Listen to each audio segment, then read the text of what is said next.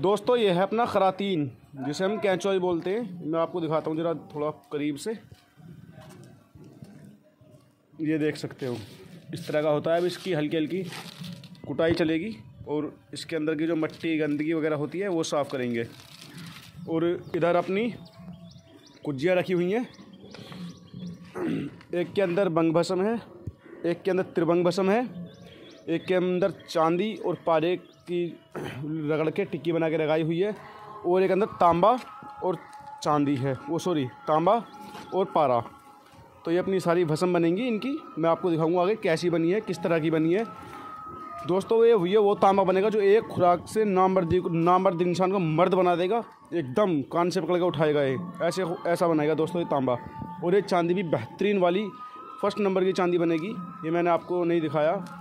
क्योंकि काम बहुत ज़्यादा था और मेरे ध्यान से बाहर रहा, इसलिए मैंने दिखाया। बाकी मैं आपको कुज्जी दिखाता हूँ और ये थोड़ी सी मट्टी ये पड़ी हुई है और अपनी इधर भी कुज्जियाँ पड़ी हुई हैं, ये रही। अभी इन्हें भी गिली मत करेंगे, इनके अंदर भी आग देंगे तांबे की। भाई इनकी कुटाई करने में लगे हुए हैं, ये देख सकते हो। अब आहिस्ता आहिस्ता अपने चोट मारते रहना है इस तरह। और जब ये इसमें बिल्कुल ज़्यादातर, ज़्यादा चोट नहीं मारनी, बीस पच्चीस तीस चोट मारने के बाद हल्की हल्की और अपने चल्ली में छाल लेना है। इस तरह देखो, इस तरह इसके अंदर मट्टी निकलेगी। ये अपने साबुत गेंडोए हैं। इन्हें खरातीन, कैचवे, गेंडोए, गेंडवे, पंजाबी में सब अलग अलग भाषा में बोलते हैं। इन्हें कांटे में लगा कर मच्छी भी मछलियाँ भी पकड़ते हैं। ये साफ़ होने के बाद अपने इस तरह दिखेंगे, ये देखो। इस तरह निकलते हैं ये। दिखाओ, बताओ, छानो, जरा छानो। तो ये अपने जस्सी भाई छान रहे हैं ये देख सकते कितनी, इतनी मट्टी, धूल मट्टी निकलती है इसके अंदर। ये देखो।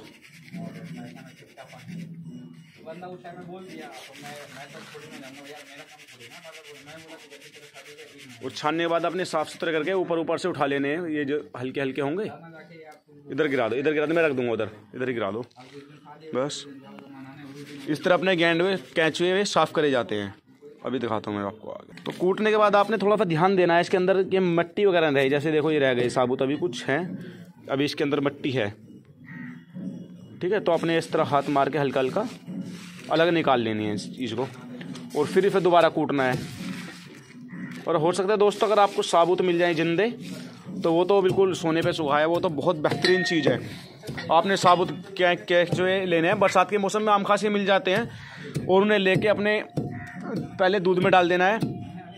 एक एक, दो, चार, पाँच छः घंटे के लिए फिर उसमें से निकाल के अपने खट्टी लस्सी में डाल देना है। वो अपनी सारी गंदी मिट्टी निकाल देंगे और दूध भर जाएगा। बाकी फिर वो उसके बाद खट्टी लस्सी में डालेंगे तो आपको एक रात के लिए डाल देना। वो आपको सुबह मरे हुए मिलेंगे। आपने सुबह निकाल के धूप में खुशक कर लेना है इन्हें। और पंछियों से बचा के रखना है। दोस्तों, पंछी बहुत जल्दी खा जाते हैं इनको।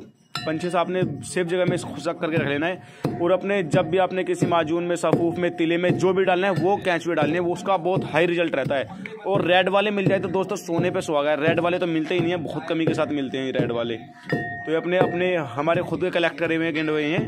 बहुत ज़्यादा मेहनत में हमने बरसात के टाइम में इकट्ठे करे थे, मगर वो साफ़ नहीं कर पाए थे। अपने, हमारे जो लड़के थे, उन्हें इतना मालूम नहीं था।